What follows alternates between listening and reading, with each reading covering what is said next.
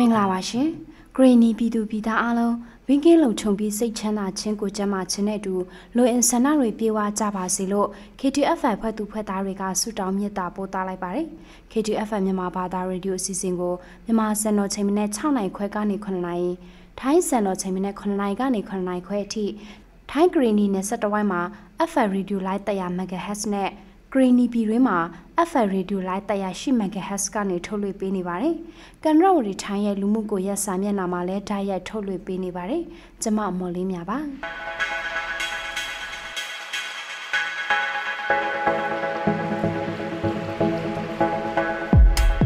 2023ခုနှစ်ဇွန်လ4ရက်အင်္ဂါနေ့မနေ့ပိုင်းမှာ KTF ဖန်ကနေနားဆင်ရမယ့်အစီအစဉ်တွေကတော့သတင်းတွေက ရွာတက်မှာအရက်သား6ဦးကိုစစ်ကောင်စီကပြစ်တက်ခဲ့ပါတယ်။ဒီမောဆိုနောက်ဖက်ချန်ကဆက်လျှောက်စခန်းတစ်ခုမှာတောက်တုံးရအခက်ခဲဖြစ်နေပါတယ်စတဲ့သတင်းတွေပါဝင်ဂရင်းနီဒေတာမှာနောက်ဆုံးရသတင်းတွေဒေတာအသွေးသတင်းတွေနဲ့စစ်အာဏာရှင်ကိုတမကခွဲခြားမှုတွေကိုပါ တွန်းလာနေတဲ့လူငယ်များဆိုတဲ့ဆောင်းပါးကိုကြားကြရမှာဖြစ်ပါတယ်။ဒါအပြင် Greeny Data အသွေးသချင်းတွေကိုလည်းနားဆင်ရမှာဖြစ်ပါတယ်။အခုချိန်ကစပြီးသတင်းတွေကိုကျမနဲ့အတူမဦးမြတို့ကတင်ဆက်ပေးပါမယ်။ Greeny ပြည်ဘောလခဲခရိုင်ရွာသိမ်းမြို့မှာအရသား6ဦးဟာစစ်ကောင်စီတပ်ရဲ့ပြစ်တက်မှုခံခဲ့ရတယ်လို့ဒေတာခရီစီကနေသိရှိရပါတယ်။ ပြီးခဲ့တဲ့ဇွန်လ29ရက်နေ့က4ဦး29ရက်နေ့မှာ2ဦးပြစ်တက်ခံထားရတာဖြစ်တယ်လို့ရွာသိမ်းမြို့နယ်အတွင်းမှာနေထိုင်တဲ့ဒေသခံတွေကပြောပါတယ်။အဆိုပါပြစ်တက်ခံရတဲ့သူတွေဟာရွာတိဒေသခရီဖြစ်ပြီးသူတို့တိမ်းရှောင်နေကြတဲ့ဖော်ကြီးကျောင်းထဲကနေအပြေကိုထွက်သွားတဲ့အတွက်ပြစ်တက်လိုက်တာဖြစ်တယ်လို့သိရပါတယ်။စစ်ကောင်စီတပ်တွေဟာဒေသခံတွေခိုလုံနေတဲ့ဖော်ကြီးကျောင်းထဲကိုလည်းတနေ့နှစ်ခေါက်ဝေရောက်စစ်ဆေးတာမျိုးတွေလှုပ်ဆောင်ခဲ့တယ်လို့သိရပါတယ်။ လက်ရှိမှာတော့ဖော်ကြီးကျောင်းရဲ့အပြင်ဘက်ကိုပြက်ပေးထွက်တာနှစ်ရက်လောက်တော့ရှိနေပြီဖြစ်တယ်လို့သိရှိရပါတယ်။ရွာတိမြို့တွင်းမှာတော့တိုက်ပွဲဖြစ်ပွားခြင်းမရှိသေးပေမဲ့အနီးနားဝန်းကျင်မှာဖြစ်ပွားနေတာတွေရှိတယ်လို့ဒေတာခံတွေကပြောပါတယ်။ပြီးခဲ့တဲ့ဇွန်လ26ရက်နေ့နဲ့28ရက်နေ့မှာရွာတိမြို့အနီးမှာဖြစ်ပွားခဲ့တဲ့တိုက်ပွဲတွေကြောင့်အိုးအိမ်စွခွာပြီးထပ်မံသိမ်းရှောင်နေကြရတဲ့စစ်ပေးရှောင်လူထု900ဝန်းကျင်ရှိနေတယ်လို့ရွာတိမြို့နယ်အတွင်းမှာနေထိုင်တဲ့ဒေသခံတို့ကဆက်ပြောပါတယ်။ လက်ရှိမှာမိုးရသည်ဖြစ်တဲ့အတွက်အဲ့ဒီစစ်ပေးချောင်းတွေအတွက်မိုးကာတွေနဲ့ဇာနာရိတ်ခါတွေအထူးလိုအပ်ချက်ရှိနေတယ်လို့လည်းသူကဆက်ပြောပါတယ်။ရွာတိမြို့အနီးမှာပြီးခဲ့တဲ့ဇွန်လ25ရက်နေ့ညနေ6နာရီဝန်းကျင်မှာစစ်ကောက်စီတပ်ကလေရင်နဲ့ပုံကျဲတိုက်ခိုက်တဲ့ဖြစ်စဉ်လည်းရှိခဲ့ပါတယ်။ Greeny ပြည်ဒီမောဆိုနောက်ဖက်ချန်ကတာယာကုန်းဆက်လျှောက်စခန်းမှာတောက်တုံးရည်အတွက်အခက်ခဲရှိနေပြီးအလူရှည်တွေကနေလာရောက်လူဒန်းပေးနေရတယ်လို့သိရပါတယ်။ရေကမိုးရေပဲတုံးတာလေမိုးရွာရေ ရေရှိတာပေါ့မိုးမြွာတော့မရှိဘူးရေတထောင်ဂလန်ကားတစ်စီးက3000ကျော်ထိပေးဝယ်နေရတော့အခက်ခဲဖြစ်တယ်လို့ကူညီပေးတဲ့သူတူကပြောပါတယ်ဒေတာခံတွေနဲ့ဆက်ရှောက်တွေဟာရေရွေးရေကန်တွေနဲ့မနီးတာကြောင့်မိုးရေတိုလောင်ကန်တွေပြုလုပ်ပြီးမိုးရေတွေကိုတွန်းလောင်သုံးဆွဲနေကြတာပါလက်ရှိမှာတော့ဆက်ရှောက်တွေစုပေါင်းပြီးအသုံးပြုနိုင်ရဲ့အတွက်မိုးကာနဲ့ရေတွန်းလောင်နိုင်ဖို့မိုးကာတွေကိုဒေတာဖွံ့ဖြိုးရေးအသင်းတစ်ခုကလူဒန်းပေးခဲ့တယ်လို့သိရပါတယ်။ အဲ့ဒီစစ်ရှောင်စခန်းမှာလူဦးရေတရာကျော်ရှိပြီးပြီးခဲ့တဲ့မတ်လအတွင်းမှာတော့ဒီမော့ဆိုရှစ်ဖက်ချန်တိုက်ပွဲတွေကြောင့်ထပ်မံပြောင်းရွှေ့လာတဲ့စစ်ဘေးရှောင်ဦးရေ90ကျော်အထိတိုးလာတယ်လို့သိရပါတယ်။ကရီနီပြည်ဒီမော့ဆိုမြို့နယ်အရှိဘက်ချမ်းမှာမတ်လကစပြီးဖြစ်ပွားခဲ့တဲ့တိုက်ပွဲတွေကြောင့်စာတင်ကျောင်းတွေပိတ်ထားရကနေဇွန်လနောက်ဆုံးပတ်မှာတော့စစ်ဘေးရှောင်စခန်းတစ်ခုကစာတင်ကျောင်းကိုပြန်လည်ဖွင့်လှစ်နိုင်ခဲ့ပါတယ်။ကျောင်းပိတ်ကာလကြာရှည်လာတဲ့အတွက် ကျောင်းသူကျောင်းသားတွေကိုကျောင်းတဲဖို့ဆွဲခေါ်ရမှာအတော်လေးခက်ခဲနေတယ်လို့ကျောင်းအုပ်သူကပြောပါတယ်ဒီကလေးတွေမှာကဒီကျွန်တော်ဆွဲခေါ်တဲ့ခါမှာဆိုလို့ရှိရင်တို့မှာကလောကကြောက်မလာချင်တော့ဘူးလက်နဲ့ကြီးကြောက်တယ်ကြောက်တယ်ဆိုတဲ့ဟာမျိုးတွေခဏခဏဖြစ်တယ်ပေါ့နော်ပြီးတော့ခြေလို့စာမှာစာမှာဆိုလို့ရှိရင်ရတဲ့ဟာမျိုးတွေလည်းမရှိတော့သူမှစာပိုင်းမှာအာရုံမဆိုင်နေတဲ့ခါကျတော့ဒီစာမှာဆိုလို့ရှိရင်လောကစိတ်မစားတော့တဲ့အခြေအနေမျိုးမရှိတယ် လက်ရှိချိန်နေရဒီမော့ဆိုမြို့နယ်အရှိဘဲမှာအဆိုပါကျောင်းတစ်ခုတည်းတာကြံရိခဲ့တာဖြစ်ပါတယ်။အဲ့ဒီစစ်ဘေးရှောင်စခန်းကစာတင်ကျောင်းကိုမူချိုကနေရှစ်တန်းအထိဖွင့်လှစ်ထားတာဖြစ်ပြီးစုစုပေါင်းကျောင်းသားကျောင်းသူဦးရေ150ရှိတယ်လို့သိရပါတယ်။ရှိတန်းမှာတက်ရောက်နေတဲ့အသက်73နှစ်အရွယ်ကျောင်းသူတူကတော့ကျောင်းပိတ်ထားရတာကြားတဲ့အတွက်အခုလိုကျောင်းပြန်တက်ရတဲ့အချိန်မှာစာတွေတော်တော်ပြန်လာရတယ်လို့ဆိုပါတယ်။စာဖတ်ကြ ဖတ်ရတယ်အထစ်အထစ်ဖြစ်စစ်ကောင်စီရဲ့လက်နက်ကြီးပစ်ခတ်မှုတွေလေရင်နဲ့လာရောက်ပုံကျဲမှုတွေမကြာခဏကြုံတွေ့နေရတဲ့အပြင်စာတင်ကျောင်းတွေကိုစစ်ကောင်စီကမကြာခဏပြစ်မှတ်ထားတိုက်ခိုက်နေတဲ့အတွက်မိဘတွေဟာကလေးတွေအတွက်စိုးရိမ်နေကြတာပါ။တော့မိဘပိုင်းမှာဆိုလို့ရှိရင်ခက်ခဲတွေဖြစ်တယ်အဲ မိဘပိုင်းမှာကျွန်တော်တို့ပညာရေးနဲ့ပြောလာပြီဆိုလို့ရှိရင်ဒါကကြာရှည်ခံမလားတာရှည်ခံမလားဆိုပြီးခက်ခဏမေးလာတယ်ကျွန်တော်ပြဖွေးလိုက်ရောညကြောက်ဖွေးလို့ပဲကျွန်တော်လည်းလက်ကြီးတွေကြာလာတယ်ဆိုပြီးတော့မျိုးကျွန်တော်မှာခဏခဏကျွန်တော်ကြားရတယ်ရွာမှာကလည်းကျွန်တော်ဖွင့်နေပေါ့နော်အဲ့လိုလေးအဲကြောက်ဖွေးပြန်ပြီးလည်းလက်ကြီးကြာတော့မယ်ဆိုတဲ့ဟာမျိုးလေးကျွန်တော်မှာခဏခဏလောက်တယ်အချိန်မရွေးအတရေကြာရောက်နိုင်တဲ့အခြေအနေဖြစ်တာကြောင့်လုံချုံရေးအစီအမံအနေနဲ့စာတင်ကျောင်းတွေမှာပုတ်ခုတ်ကျေးတွေတူထားတာ ကလေးတွေကိုအပြစ်မထွက်စေတာတွေအပြင်မိဘတွေကိုယ်တိုင်လာကြိုစေတဲ့အလေးထားတွေပြုလုပ်ပေးနေတယ်လို့အဆိုပါကျောင်းအုပ်ကပြောပါတယ်ရှင်။ဂရီနီဘီဖရိုဆိုမြို့နယ်နောက်ဖက်ချမ်းကိုစစ်ကောင်စီကပြီးခဲ့တဲ့ဇွန်လ22ရက်23ရက်နဲ့24ရက်တွေမှာ3ရက်ဆက်တိုက်ကြေးရွာတဲ့ကိုလေရင်နဲ့ဘုံကျဲတိုက်ခိုက်ခဲ့ပြီးဘုံကျဲခံရတဲ့ကြေးရွာအပါအဝင်အနီးနားကကြေးရွာမှာဖွင့်လှစ်ထားတဲ့စာတင်ကျောင်းအလုံးဟာအခုချိန်ထိပြန်လည်မဖွင့်နိုင်သေးဘူးလို့ဒေတာခန်တွေစီကနေသိရပါဗျ။ စာတင်ကျောင်းခုနှစ်ကျောင်းကိုပိတ်ထားခဲ့ရတာဖြစ်ပြီးခင်ကြီးကနေအထက်အားထိကျောင်းသားဦးရေတထောင်ဝန်းကျင်ရှိတယ်လို့စစ်ဘေးရှောင်ကူညီပေးနေတဲ့စေတနာဝန်ထမ်းတဦးကပြောပါတယ်။လက်ရှိမှာတော့ဘုံကျဲခံရတဲ့ကြေးရွာတွေကဒေတာခန်တွေပြည်အနီးနားမှာရှိတဲ့ဒေတာခန်တွေနဲ့ဖရိုဆိုမြို့နယ်နောက်ဖက်ချမ်းကိုလာရောက်ခုလုံနေတဲ့စစ်ရှောင်များစုဟာ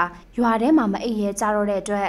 တောတောင်ထဲမှာသွားအိတ်ကြပြီး မိုးကာလဖြစ်တာကြောင့်အအိမ်မိဖျားနာတာတွေအဖြစ်များကြသလိုတချို့ကတော့ရွာထဲမှာအိပ်ပြီးဘုံခိုကျင်းနဲ့ဝေအိတ်ကြတာဖြစ်တဲ့အတွက်ဖျားနာနေကြတာဖြစ်တယ်လို့သိရပါတယ်။ဖျားနာနေတဲ့သူတွေတဲ့အများစုဟာကလေးတွေဖြစ်ကြပြီးအိမ်ထဲမှာပဲရှိတဲ့ဆေးတွေနဲ့ပဲကုသပေးနေရတယ်လို့သိရပါတယ်။စစ်ဘေးရှောင်တွေတဲဆောက်နိုင်ဖို့မိုးကာနဲ့ဆေးဝါးတွေအထူးလိုအပ်နေတယ်လို့လည်းဆက်ရှောင်ကူညီပေးနေတဲ့စေတနာဝန်ထမ်းစီကနေသိရပါတယ်။ တိုက်ပွဲဖြစ်ပွားခြင်းမရှိဘဲစစ်ကောင်စီက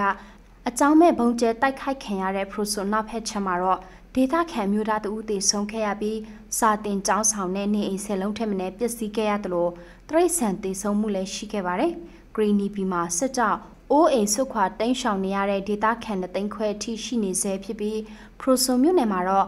6000ကျော်အထိရှိနေတယ်လို့သိရပါတယ်။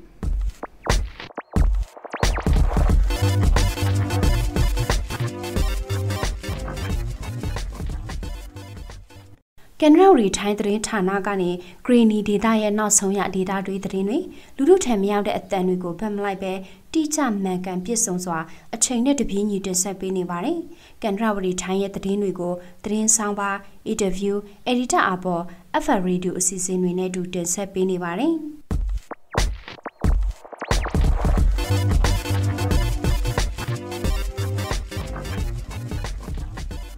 BNI Media Group ကဒေတာအထွေသတင်းတွေကိုဆက်လက်တင်ဆက်ပေးပါမယ်။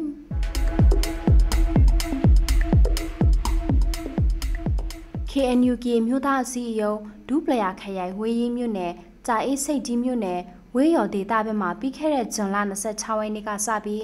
ခလဲတကိုတိုင်ကျေးရွာအုပ်စုအနီးတောင်ညိုတောင်ချင်းတကြောင်မှာစစ်ကောင်စီတပ်ဖွဲ့တွေစစ်ကြောင်းထိုးလာတဲ့အတွက် ဌာနေចောင်းသားចောင်းသူတထောင်ကျော်စာတင်ကြားမှုယာယီရနာထားရတယ်လို့ဒေသခံတွေထံကနေသိရပါဗျ။အဲ့ဒီကျေးရွာကစာတင်ကျောင်း30ကျော်နဲ့ကိုထူကိုထကျောင်းတွေမှာပိတ်ထားပြီးဒေသခံအများအပြားလဲဇွန်လ28ရက်နေ့ကလေးကစစ်ဘေးတိမ်းရှောင်နေကြရတယ်လို့ဆက်ဆောင်ကူညီသူထံတွေကနေသိရပါဗျ။တကိုယ်တိုင်ရွာရဲစခန်းမှာဂျာရေးစိတ်ကြီးမြို့နယ်ချင်းဆိုင်ချင်းလီတက်ရေးခလာရ30နေလက်အောက်ခံတပ်ဖွဲ့တွေနဲ့နေချားစောက်သက် BGF အမတ် တစ်တုံညာနှစ်တိတို့ပူပေါင်းပြီးတပ်ဆွဲထားတာကြောင့်သူတို့ရဲ့ရိတ်ခါအင်အားတွေထက်မှန်ဖြစ်စေရအတွက်ဇွန်လ26ရက်နေ့မှာကြိုက်မျောမြို့နယ်တောက်ကလေးကျေးရွာကနေတဆင့်ဝေးရော်ဒေတာတောင်ညိုတလျှောက်ကိုစစ်ကူစစ်ကြောင်းတွေနဲ့ဝေရောက်လာတာဖြစ်ပါတယ်။အဲ့လိုစစ်ကြောင်းထိုးလာတာကြောင့်နှစ်ရှည်ဥယျာဉ်ခြံတွေနဲ့လေယာလုပ်ငန်းတွေရပ်ဆိုင်းရပြီးဘေးလွတ်ရာအသီးသီးကိုဒေသခံ3000ကျော်စစ်ဘေးသိမ်းရှောင်နေကြရတယ်လို့ဒေသခံတွေကပြောပါတယ်။ ဒါအပြင်မိုးပြည်နယ်မှုဒုံမြို့နယ်အပိရွာအမြောက်တပ်ရင်ကနေအလက်တကူတိုင်းကြေးရွာအုပ်စုကြေးရွာတဲ့ကို120မမ122မမလက်နက်ကြီးတွေနဲ့နှိမ့်စီပစ်ခတ်နေတယ်လို့တကူတိုင်းရဲစခန်းက80တိမမနဲ့လဲကြေးရွာနီးနားကိုပြစ်ခတ်နေတဲ့အတွက်ဒေသခံတွေရဲ့နေအိမ်ဆယ်လုံးဝန်းကျင်မှာလည်းပျက်စီးခဲ့ရတယ်လို့ဆိုပါတယ်။ဝေယော်ဒေသအလဲတကူကြေးရွာအုပ်စုမှာရှိတဲ့စာတင်ကျောင်းဆယ်ကျောင်းကျော်နဲ့ကိုထူကိုထကျောင်းအသီးသီးတွေမှာ ဒေသသွေးအခြေအနေမျိုးမျိုးကြောင့်ပြီးခဲ့တဲ့မေလနောက်ဆုံးပတ်မှသာကျောင်းဖွင့်နိုင်ခဲ့ပြီးကျောင်းသားကျောင်းသူအနေနဲ့စာတင်ကျောင်းမှုရဲ့အနေငယ်သာရသေးတယ်လို့ကျောင်းသားမိဘထံကနေသိရပါတယ်။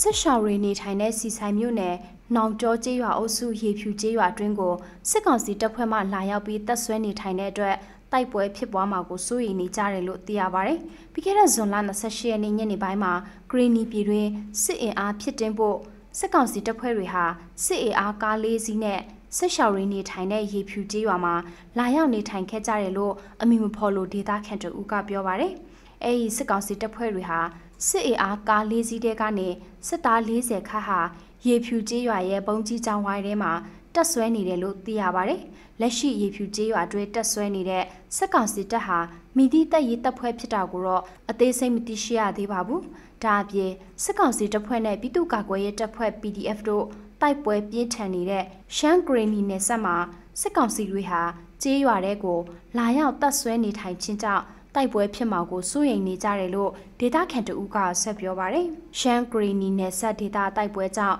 နေရဆွတ်ပြီးစီဆိုင်မြို့ကိုထွက်ပြေးတိမ်းရှောင်လာရတဲ့စစ်ရှောင်တွေဟာစုစုပေါင်းလူဦးရေ8000ကျော်ထိရှိတယ်လို့သိရပါတယ်။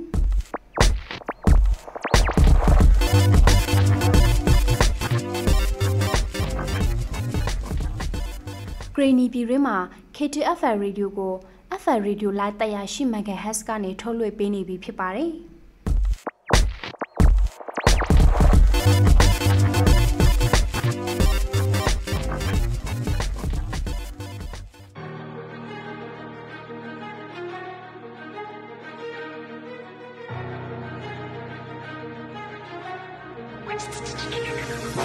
တရားမျှတမှုအတွက်လက်နဲ့ကိုစီဆွဲလာခဲ့ပြီတိုင်းပြည်ရဲ့ပြည်နယ်တစ်သေးလေးတောင်းခံရင်အထီးတွေနာခဲ့ပြီလွတ်လပ်ခြင်းဆိုတာဘာလည်းမသိအမောင်ခင်မှာတစ်နှစ်ကြော်ချခဲ့ပြီမင်းကိုယ်တိုင်မပေါဝင်မကူညီရဲ့အောင်ပွဲလဲကြမယ်ကဘာနဲ့ချီ right ကိုတောင်ပေါ်အကောင်တွေအကုန်လုံးကသွေးရဲတယ်မင်းတို့မြင်တဲ့တိုင်းမဲတွေတားရီတချို့တွေဆိုအသက်ပါစနေခဲ့တယ်အဲ့လိုရဲဘော်တွေကြာဆုံးမဆောက်ဖို့လိုဝမ်းနေကြောင်းတင်မလီနဲ့စကေးတယ်လေအဲ့လိုလိုချင်တာမင်းတို့တနိုင်ငံလုံးဝိုင်းနေမဲ့ click တစ်ချက်ပဲကောင်းပြီမှာ husky မြေပြင်မှာတင်က okay မသေးခင်လားပင်ရစစ်ခွေးတွေအကုန်မီးညက်ကြချင်တာလေးကွာသို့တော့လက်တွေ့မှာအစမပြေတာတွေများလို့900တစ်ထောင်အစားလူပါအနိုင်ပွဲတစ်ချိန်ချိန်မှာအများမှာထင်ရှားချို့ရိုးရွာတွေဟာလည်းပြားတွေမီးတွေပုံတချို့ကမခံချစိတ်နဲ့အသက်ဆုံးတိုက်တချို့ကစားရှိကြီးတွေထုတ်ရတဲ့ဘသူတွေပဲလို့ထားတွေရှိပြီအောင်ကိုရုံးမှာကိုလွတ်မဲ့ဘွားမင်းအောင်တော့တဲ့ချင်သားထောင်ပါရှိနေတယ်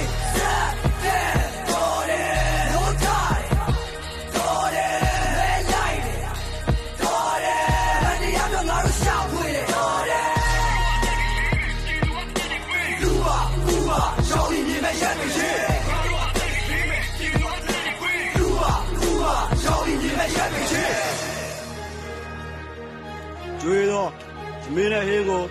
စားသုံး၍ဤသူတို့အပေါ်ဒေစာစားသည့်ဒိုသေးပါမည်တော်ရလူငယ်တွေတူးမှထူပြီးအသက်ပုံပါခဲ့ညဘက်ဆိုခင်းဆောင်မနက်ခင်းဆိုတိုက်ပွဲတက်ဖြိုကခွဲငါတို့ကမေးလောင်ဆောင်နေကြ မြို့ပြမှာမေးရောင်ဆောင်နေလားမင်းတို့လိုပါသွားနောက်ပြီးတက်ချင်တာပေါ့ကလပ်ကိုငါလဲမဟုတ်ရပြီငါတို့ရှင်မထဲလာထဲပြစ်လို့သွားဖက်စီနေစခန္ဓာကိုပဲတက်ပြစ်လို့ရမယ်တော်လန်ရေးစိတ်တကူတော့မင်းတို့တက်ပြစ်လို့မြတ်ဒီတော်လန်ရေး1988လို့ဖြစ်ချစ်ခံမဖြစ်ဖို့ကွာရိုဟင်ဂျာတွေပေါ်တိုင်းတွေကလူမျိုးတုံးတက် ဖြတ်မှုတိုင်းခုနိုင်ငံလုံးကိုအဲ့ပုံစံတိုင်းပဲဆက်လက်ပြီးခုကုန်နေကောင်းတဲ့ကြီးပေါက်သွားတာသူကြောင့်လည်းမှတ်ချက်မပြူရဲတဲ့ချိန်တွေပြန်မြောက်ဖို့ရေဝိုင်းလို့လူတန်းလက်ခုရှမ်းသူကအင်အားတောင်းငါတို့ကကန်တရားဘက်နေမယ်ပေးထားတဲ့အသက်တွေဘွားတွေအားလုံးကပြန်ပြတတ်ပေမဲ့အမှန်တရားတို့တည်ရဲတဲ့ဆိုတဲ့အတန်များထွက်နေတယ်ငါတို့ညီကိုတွေဖြစ်တာကြီးတဲ့တစ်ခုတည်းပို့တဲ့ခံစားချက်တွေနဲ့ Hey set ten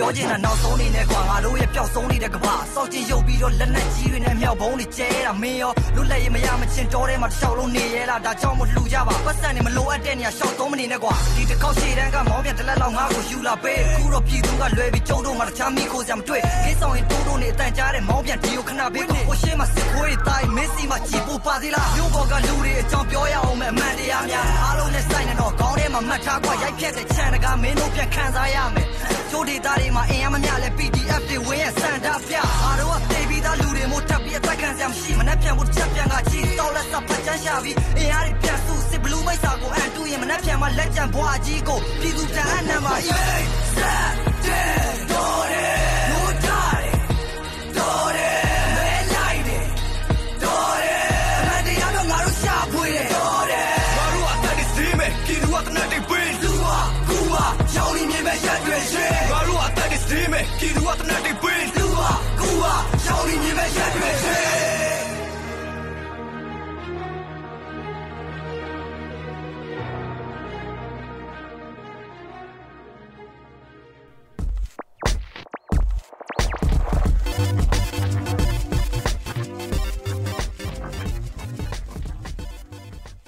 ကနရဝတီထိုင်းသတင်းဌာနကနေတင်ဆက်ပေးနေတဲ့သတင်းစောက်ပါအင်တာဗျူး FM အစီအစဉ်တွေကိုကနရဝတီထိုင်းပရိသတ်တွေအနေနဲ့ဝေဖန်အကြံပြုစာပေးပို့နိုင်ပါတယ်ဝေဖန်အကြံပြုစာပေးပို့လိုပါကကနရဝတီ @gmail.com နဲ့ကနရဝတီထိုင်းရဲ့ Facebook Messenger မှာတဆင့်လွတ်လပ်စွာအကြံပြုပေးနိုင်ပါတယ်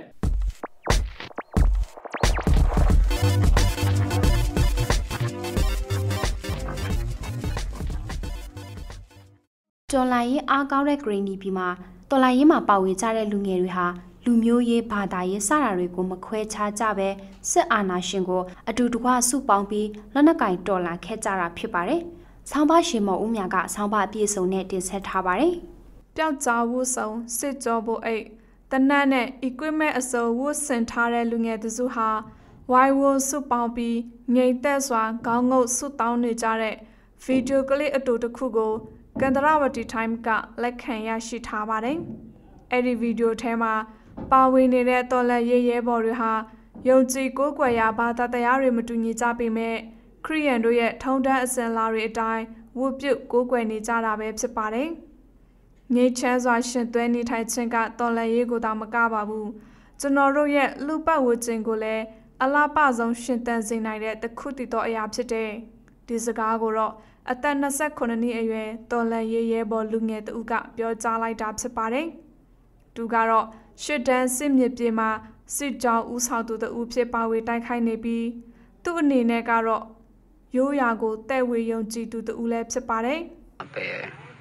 လေချစ်တန်ကြီးတို့နမပဲကျွန်တော်တို့ရှင်းထွက်ခေဆိုကျွန်တော်တို့ဖျားကိုဆုတောင်းတယ်ဖျားတခေကကျွန်တော်တို့ကိုကူညီပေးဖို့ဆုတောင်းတယ်ကျွန်တော်တို့နှစ်ချင်းဘာသာလိုပဲဆုတောင်းတာ။ ဗုဒ္ဓဘာသာဝင်တော်လက်ရေးလူငယ်တဦးဖြစ်တဲ့ခူမီထဲမှာ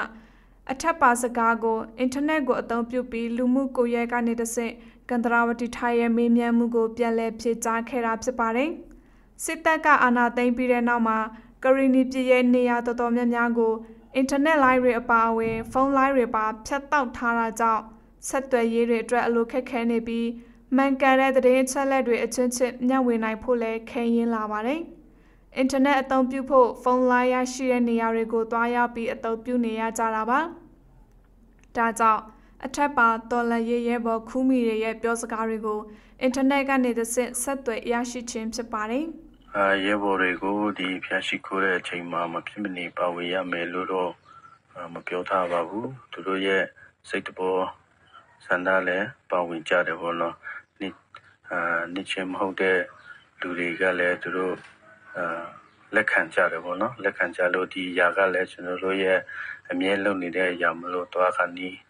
တိုက်ပွဲတွားခါနီးဆိုရင်တော့ဒါကစုပြီးတော့မှဟိုလှုပ်ဆောင်ကြတော့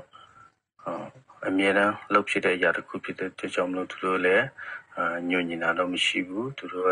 အလုံးလက်ခံကြတယ်ပေါ့နော်။တက်ခွဲမှု A1 ဟာနစ်ချင်းခရီယန်ဘာသာဝေတူဖြစ်ပါတယ်။ သို့ပေမဲ့သူနဲ့အတူတော်လန်ရေးတပ်ဖွဲ့ဝေတွေရဲ့ဘာသာတွေကိုလည်းကိုယ့်ဘာသာမဟုတ်လို့မပါဝေဘူးဆိုတာမျိုးမဟုတ်ပဲဗုဒ္ဓဘာသာဝေတော်လန်ရေးရဲဘော်တွေတရားနာတဲ့အခါမှာလည်းပူပေါင်းပါဝေလေးရှိတယ်လို့သူကပြောပြပါတယ်။ကျွန်တော်တို့ကလည်းပူပေါင်းပါဝေပေးပါလို့အချင်းချင်းတောင်းဆိုတာမျိုးတစ်ခါမှမရှိခဲ့ဘူးအားလုံးကကိုယ်စိတ်နဲ့ကိုယ်ပါဝေကြရင်စိတ်တူကိုယ်တူပဲသွားကြတာပါ ဒီစကားကိုတော့ဘာသာခြားတွေရဲ့နှစ်ချင်းဘာသာလိုပါဝေရှိခိုးတာနဲ့ပတ်သက်ပြီးကက်သလစ်ခရစ်ယာန်ဘာသာဝင်ရဲဘော်တူကပြောပြလာခြင်းပဲဖြစ်ပါတယ်တော်လန်ရဲ့တပ်ဖွဲ့အသီးတီးဟာမတူညီတဲ့နေရာဒေသဘာသာလူမျိုးခံယူချက်စတဲ့မတူညီမှုမျိုးစုံကြားကနေစုပေါင်းထားခြင်းပဲဖြစ်ပါတယ်။သူ့အစွဲငါအစွဲစတာတွေကိုလက်ကင်ထားခြင်းမျိုးမဟုတ်ပဲမတူညီမှုတွေကိုအချိန်ခံပြီးတော့ အတူတကွရှင်သွဲနေထိုင်ကြသူတွေလည်းဖြစ်ပါတယ်။ဘုံရည်ရွယ်ချက်တစ်ခုဖြစ်တဲ့စစ်အာဏာရှင်ချုပ်ငြိမ်းရေးကို UTP မတူညီမှုတွေကိုမေ့လျော့ထားကြတာလည်းဖြစ်ပါတယ်။စစ်ကြောင်းဥဆောင်သူလူငယ်တဦးအနေနဲ့များစွာသောမတူညီမှုကြားကရွယ်သူရဲဘော်လူငယ်တွေကိုထိန်းညှိရတဲ့အခါစိတ်ခုံမှုတွေရှိနေပေမဲ့လို့မတူညီတဲ့အရာတွေကိုတရသေးဆွဲကင်မထားပဲအတူတူတော်လန်ရေးဝင်ကြတဲ့ရဲဘော်တွေဖြစ်တာကြောင့် စိတ်ခုံမှုတွေကိုကြော်လွှားနိုင်တယ်လို့အထက်ပါလူငယ်စစ်ကြောင်းမှုကပြောကြားလိုက်ပါတယ်။တော်လန်ရေးရဲဘော်တွေရှစ်တန်းထွက်ရတဲ့အခြေအနေတွေပေါ်မူတည်ပြီးဝိုင်ဝိုဆွတ်တောင်းတာကိုပြုလုပ်လို့ရှိတယ်လို့ပြောပြပါတယ်။အရေးပေါ်အခြေအနေတွေဖြစ်လာတဲ့အခါ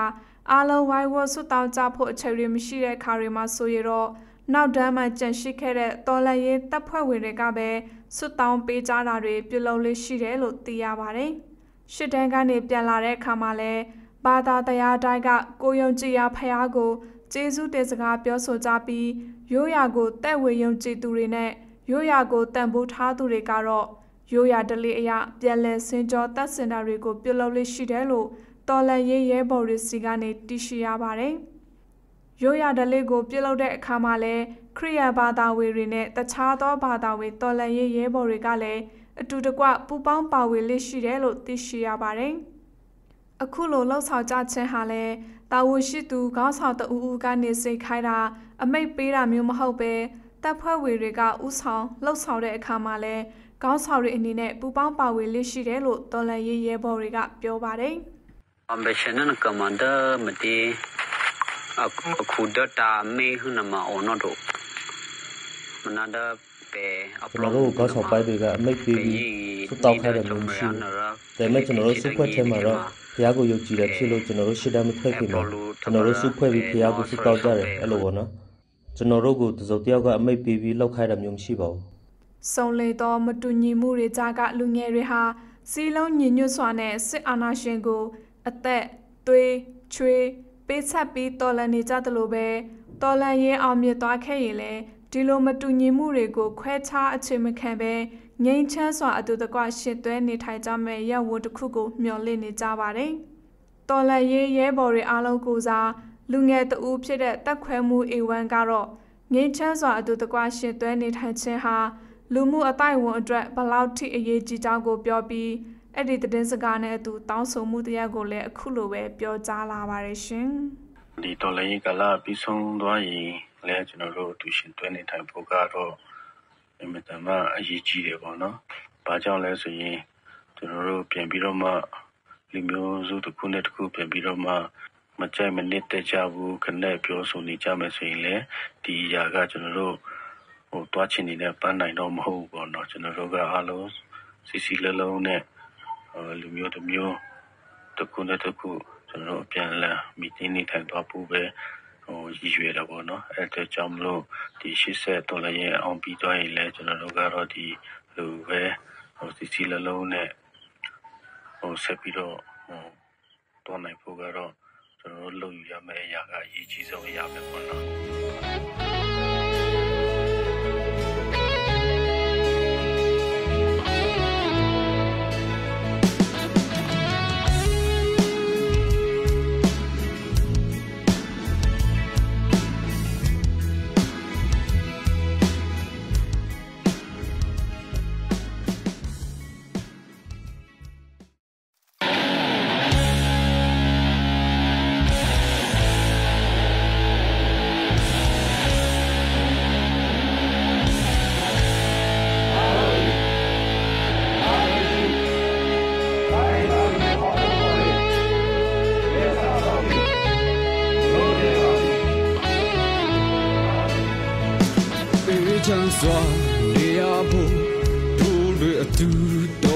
ဆုံးအခုချိန်မှာတို့တွေညီဖို့လို့ငါတို့ရဲ့ရှိငါကတွေ့လွတ်လပ်စွာနေနိုင်ဖို့တိုင်းရန်တာတို့တူတော်လန်ကြသောရှိကဖော်ထုံမျိုးငါတို့ရရမလို့ချင်လို့ငါတို့ရနိုင်ကို နိုင်ရမယ်စစ်ရှိကဖော်ထုံမျိုးငါတို့ရရမလို့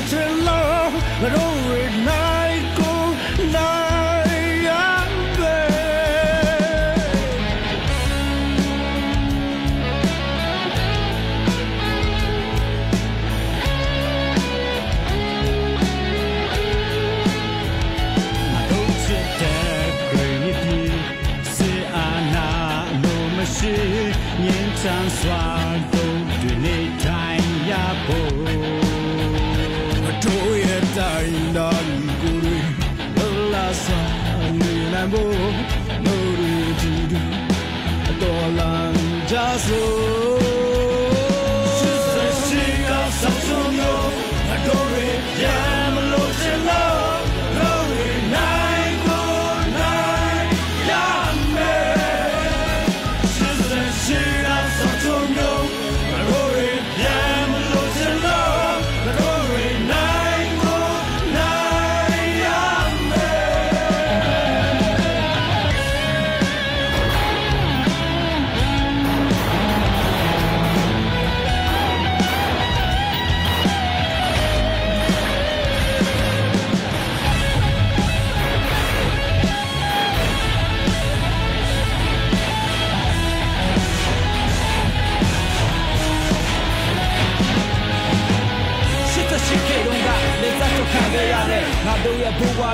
ပြန်လဲပြီးနေကြည့်တဲ့တိုင်းတကယ်အဖြစ်ပြက်တွေကကျင်းညာသက်ကြီးရွာပဲနောက်မျိုးစံကြုံရဖို့တူတူတိုက်ခိုက်ကြစို့ဝေးကနေတယ်ထောက်ကူအမြဲပြီးပေးနေတဲ့ငါတို့ရဲ့လူချင်းတွေများယေရှုပဲတော့မှမမေ့သူတို့ရဲ့မိသားစုနဲ့အေးချမ်းစွာပြန်ဆုံနိုင်ဖို့ငါတို့ရဲ့စီးလုံးစွာနဲ့အနရှင်ကိုတိုက်ထုတ်ကြစို့ငါတို့ရဲ့ကင်းဒီပီဂျီအေးချမ်းစွာဆင်းနိုင်နိုင်ဖို့အာနာယူနေကြတဲ့လူတစုကိုတိုက်ထုတ်ကြစို့ငါတို့ရဲ့တိုင်းရင်းသားများဘယ်တော့မှရှုံးပြနိုင်ဘူးရဲရင်းစွာနဲ့ငါတို့တွေ တိုက်ခိုက်ကြစို့တိုက်ခိုက်ကြစို့စစ်စစ်ရှိကဆက်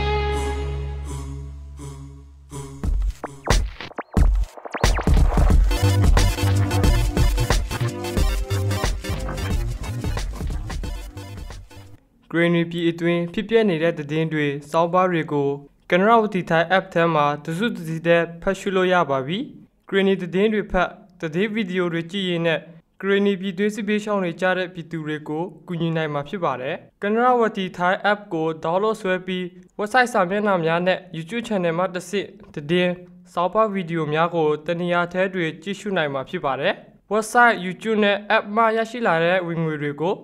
ဂရနီပြည်အတွင်းဒုက္ခရောက်နေကြတဲ့ပြည်သူလူထုတွေအတွက်ပြန်လည်ပေးပို့ကူညီတော့မှာဖြစ်ပါတယ်။